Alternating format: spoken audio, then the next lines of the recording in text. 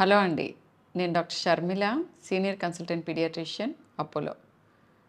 ఈ ఇమ్మీడియట్గా ఇది న్యూస్ లాగా మీకు చెప్పాల్సిన అవసరం ఎందుకు వచ్చిందంటే ఇప్పుడు ఈ సీజన్లో రైట్ నా ఆగస్ట్లో ట్వంటీ ట్వంటీ ఫోర్లో ఒకేసారి విష జ్వరాలు అని చెప్పి ఆందోళన చెందుతున్నారు. చాలామంది పిల్లలకి ఒంట్లో బాగుండట్లేదు. వీటన్నిటికీ తోడు హాస్పిటలైజేషన్స్ ఇవి కూడా ఎక్కువ అవుతున్నాయి. అండ్ ఇంకా మోర్ ఇంపార్టెంట్లీ లేటెస్ట్ న్యూస్ పిల్లల హెల్త్ న్యూస్ చెప్పాలి అనే ఉద్దేశంతో చేస్తున్నాను ఈ వీడియో. ఇప్పుడు ఒక term about monkey pox mpox అని ఎక్కువ వింటూ ఉండుంటారు. ఇప్పుడు ఇప్పుడు అందరూ వింటున్నారు. సో ఈ ఎంపాక్స్ గురించి కొంత మీకు అర్థమయ్యేలా చెప్దాము అనే ఇంటెన్షన్ ఈ వీడియోకి. ఎంపాక్స్ అనేది మంకీ పాక్స్ మీరు మామూలుగా ఇంతకు ముందు వినున్న పేర్లు స్మాల్ పాక్స్ చికెన్ పాక్స్ ఈ రెండు వినుంటారు. అండ్ ఇప్పుడు కొత్తగా వినపడుతున్నది monkey pox mpox or monkey pox వి ఎగ్జాక్ట్గా ఈ small pox chicken pox monkey pox వీటిల్లాగానే చూడటానికి కనిపించేది టొమాటో ఫీవర్ అని ఫేమస్ అయింది ముందు.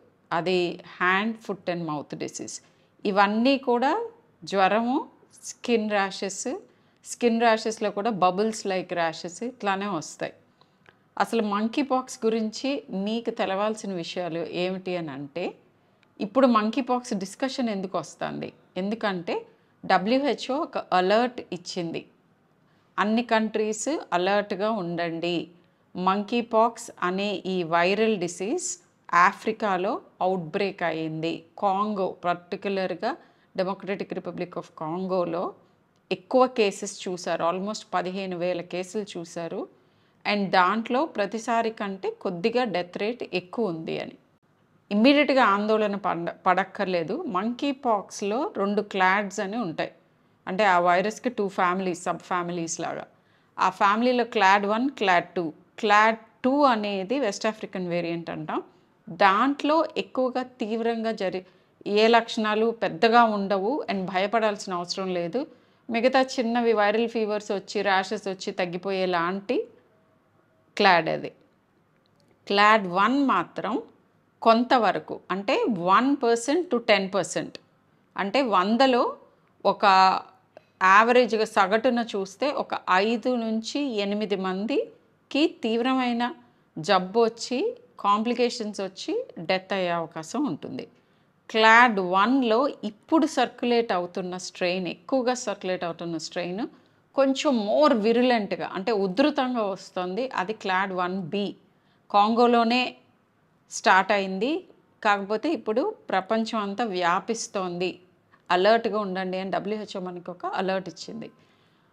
ఈ అలర్ట్ పర్టికులర్గా ఇండియాకి రిలవెన్స్ ఎక్కువ ఎందుకు అని అంటే మనకి ఆఫ్రికన్ నేషనల్స్ ఎక్కువ మంది ఇక్కడికి వస్తూ వెళ్తూ ఉంటారు. చదువు కావచ్చు ఉద్యోగానికి కావచ్చు మెడికల్ టూరిజం కావచ్చు.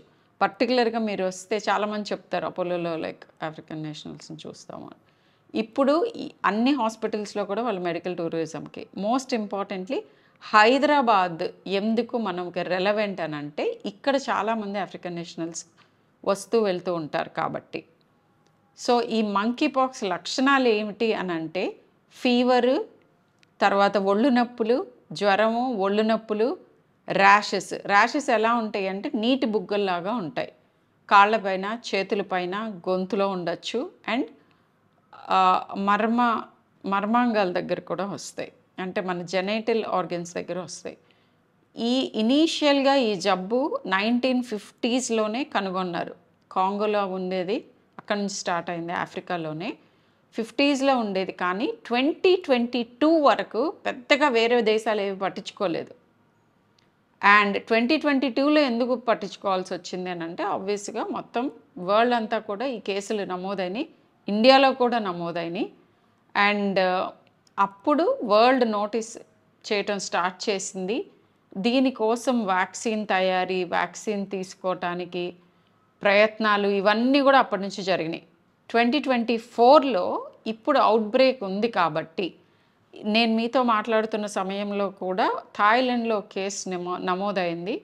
అది ఆఫ్రికా నుంచి స్వీడన్ వెళ్ళి ఐ మీన్ సారీ యూరప్ వెళ్ళి యూరప్ నుంచి థాయిలాండ్ వచ్చిన ఒక యూరోపియన్లో వచ్చింది అది. సో ఇలా అన్ని చోట్లకి స్ప్రెడ్ అవుతోంది. యూరప్ అండ్ యూకే ఆల్రెడీ నమోదైనవి ఇప్పుడు థాయిలాండ్లో కూడా నమోదైంది. సో ఇండియాని కొంచెం హై అలర్ట్లో ఉండమని చెప్పారు మంకీ పాక్స్ గురించి. ఈ టైంలో నేను మీతో మాట్లాడుతున్న ఈ సమయంలోనే లాస్ట్ ఒక టూ త్రీ వీక్స్ నుంచి హ్యాండ్ ఫుట్ అండ్ మౌత్ చూస్తున్నాము.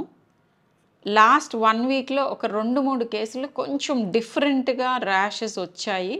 వాటిని అబ్జర్వ్ చేస్తున్నాము బట్ ఇమ్మీడియట్గా అడిగితే అది ప్రాబబ్లీ హ్యాండ్ ఫుట్ అండ్ మౌతేనేమో అనిపిస్తోంది.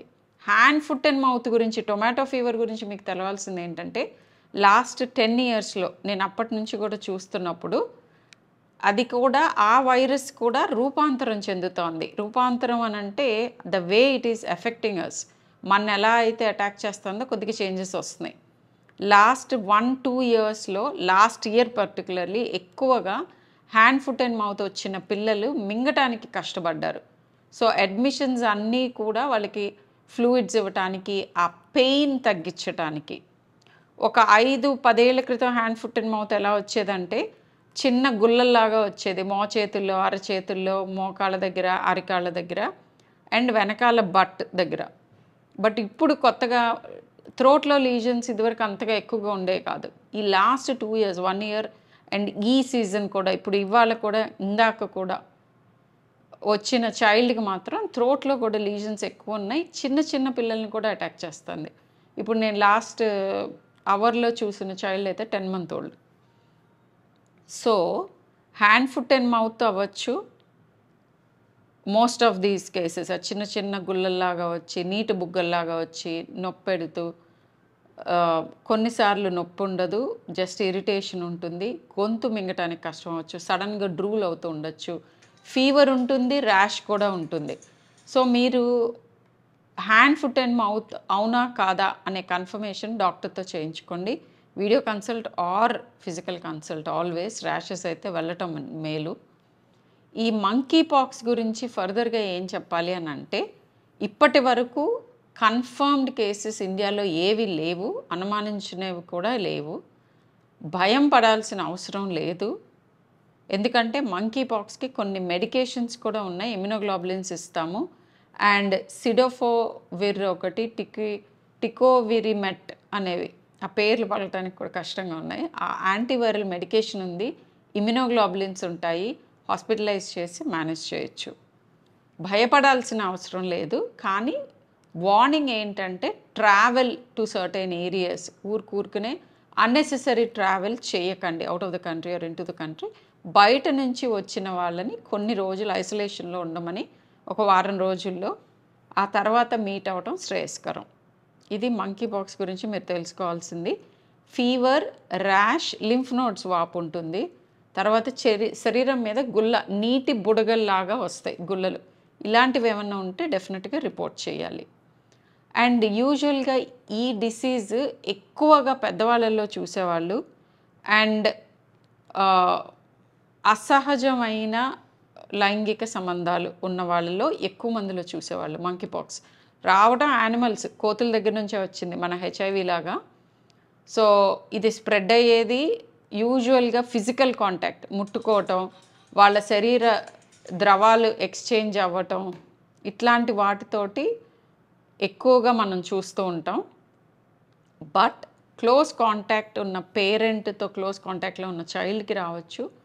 చిల్డ్రన్లో దీని మోటాలిటీ ఎక్కువ ఉంటుంది. ఈసారి ట్వంటీ ట్వంటీ ఫోర్లో కాంగోలో చూస్తున్న monkeypox strain less than eighteen year ఓల్డ్స్ని కూడా అటాక్ చేస్తోంది.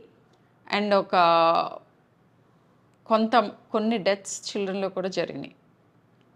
ఇవన్నీ చెప్తున్నాను కదా అని భయపడమని కాదు. అగైన్ జస్ట్ జాగ్రత్తగా ఉండమని. అండ్ మంకీ పాక్స్ అంటే ఏంటి? అసలు ఎలా స్ప్రెడ్ అవుతుంది? Close touch.